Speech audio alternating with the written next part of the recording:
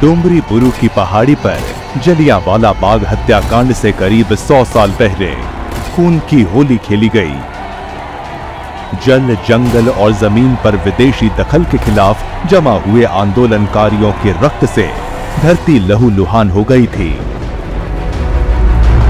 कहा जाता है कि फिरंगी हुकूमत के खिलाफ यही उल गुलान का ऐलान हो गया था। एक नौजवान जो धर्म परिवर्तन की आड़ में विदेशी साजिशों को अच्छी तरह से समझता था। एक नौजवान जो फिरंगियों की हर चाल पर नज़र रखने लगा था। उसने हुकूमत के खिलाफ सीधा ऐलान कर दिया। वो युवक था, धरती आबा बिरसा मुंडा।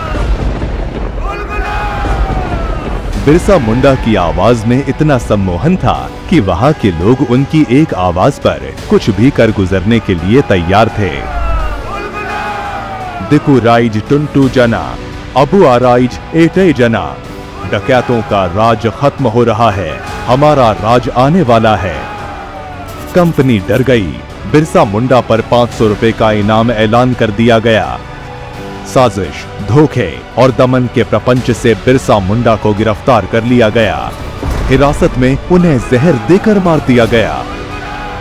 बिरसा मुंडा माटी और वतन की रक्षा करते शहीद हो गए, लेकिन विदेशी ताकतों से संघर्ष और यलगार के वे कभी न मिटने वाले प्रतीक बन गए।